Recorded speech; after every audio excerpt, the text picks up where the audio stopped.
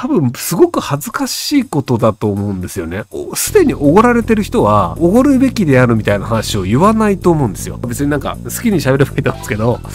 な、なんか、それ、口に出すことに何のメリットがあるんだろうっていうのがわかんないんですよね。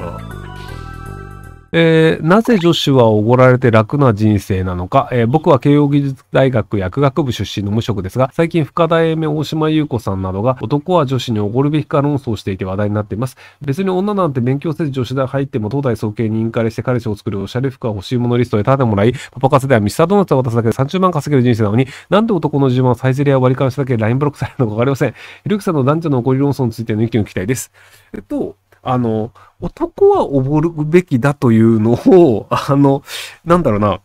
言うのって多分すごく恥ずかしいことだと思うんですよね。要するにその、あの、すでにおごられてる人は、あの、おごるべきであるみたいな話を言わないと思うんですよ。だからその、僕基本どっかに行くと大体おごられるんですよ。で、なんか、まあ別にあの、男の人同じの限らずね、まああの、おごりなら行きますよって言ってるんですけど、なので、それなりに美人で、例えばじゃあ芸能人でそれなりに綺麗な人とか、女優さんとかが、じゃあ飯食いになりますっていうと、多分みんな喜んでおごると思うんですですよ。で、むしろお金出してくださいとか言って嫌な思いをされるより、おごって印象を良くして、なんか今後の仕事につなげたりとか、友達として仲良くなりたいってなるので、多分その、数万円、まあ、いいディナーだとしてね、せいぜい数万円だと思うんですけど、その、数万円をケチるっていうのをしないと思うんですよね。なので、その、男におごってほしいという願望を口に出してる時点で、おごられなかったことがある人、おごられる価値がない人っていうのを、あの、自分から言って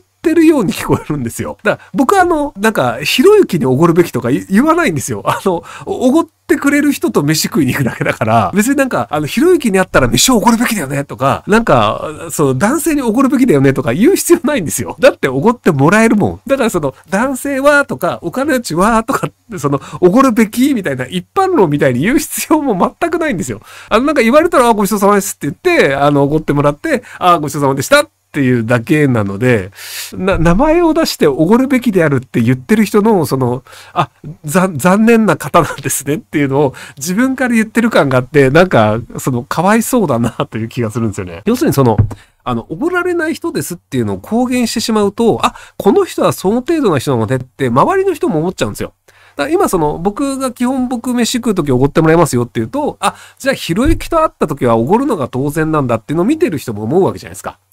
で、あの、まあ、そういう価値がある人なんだなっていう誤解が広まって、あ、ひろゆきはその飯を食うためにはおごらなきゃいけないぐらい価値がある人なんだっていうふうに、社会は勝手な認識をするんですよ。っていうのがあるので、なんか私おごられてないですとか、おごってほしいですっていうのって、あの、その、芸能人的にはもうブランド価値下げるだけだと思うんですよね。なんか、その、あの、別に芸能人じゃないですとか、世の中にどう思われてもいいですっていうのであれば別になんか好きに喋ればいいと思うんですけど、な、なんか、それ、口に出すことに何のメリットがあるんだろうっていうのがわかんないんですよね。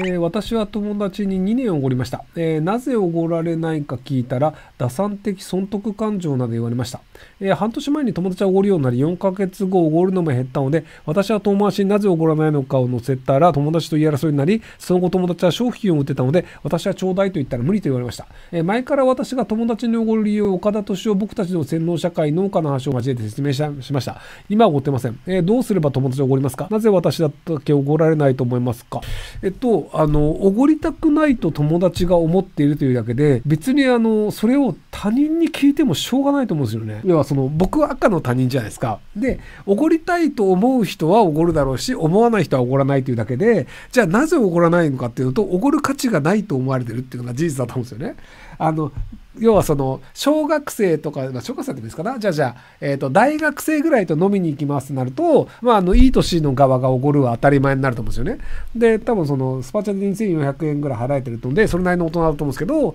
するとその経済的にあんまり儲かってない人に対して、経済的に儲かってる方がおごるみたいなのが、まあ当然だよね、みたいなのがあると思うんですけど、僕でもそれでも基本おごらないんですよね。なので、なんかじゃあ、20代ぐらいの人とかが、なんかじゃあ、ひろゆきさんと飲みに行きたいですって言ったら、ごちそうさまですって言っておごってもらう気満々でいくので、なので、あの、基本的にはおごりませんっていう人もいれば、ただじゃあ、その人がそのなんか生活保護ですとかで、本当にお金がないとかだったらじゃあ僕が出すかもしれないし、っていうのもあるので、そのおごるラインっていうのが、その割と人によって違うっていう話だと思うんですけど、えっ、ー、と、俺は女にも後輩にもおごらないよ。まあ、あの、なんだろうね、女にもっていう、そのなんか、あの、男は当然おごらないっていう意味なのかな人の金で食う飯はうまい。そうなんですよね。人の金で食う飯ってうまいんですよね。えー、ひろきさんこんばんは。25歳男、底辺商業高校卒、現 IT ベンチャー課長、サイドセールスやってます。えー、人心人望を得るためにどうしたらいいでしょうか？金を配る。えー、リュービデオに人徳を重んじるようなマネージャーで依頼を務めていますが、10年後にあなたに出会えて本当に良かったと手紙でももらえるくらいまでに人望を得るのはどうしたらいいでしょうか？おごる、金を配る。えー、またマネジメントを気をつけることなどあれば教えてください。よろしくお願いします。えっと、あの、本当に人徳がある人は、まずこんな質問をしません。で、人徳のない人が人徳があるかのように人に好かれるには、おごるとか金を払うとか時間を使うです。で、あの、時間を使うが、えっとね、いい人が時間を使うと、あ、この人は自分に相談に乗ってくれたんだ、いい人だってなるんですけど、いい人じゃないやつが時間を配ると、なんか説教とかされるし、こいつうぜえってなるんですよ。で多分あの2000円払ってこんなこと聞いてるってことはあなたいい人じゃないので時間を使うと多分説教癖のあるおっさんに絡まれてうぜえってなると思うのであのおごる金を払うだけやってください。例えばその結婚してる人にあれ今度結婚式あの結婚記念日だよね。なので奥さんにこれあげたらみたいなのでなんかあの商品券を渡すとか。ここで失敗するのは奥さんにプレゼントだよみたいなのでセンスのないわけのわからないものをあげると処理に困るんですよ。なので商品券とかお金に代わるものをあげてください。基本的にはそのセンスとかを使わずにお金を配るっていうのをやってください。えー、ひろゆきさんの泣き声がベーシックインカムって本当ですか？まあ僕が夜中に泣いてる時はベーシックインカムって言ってますね。はい。僕だけじゃないと思いますよ。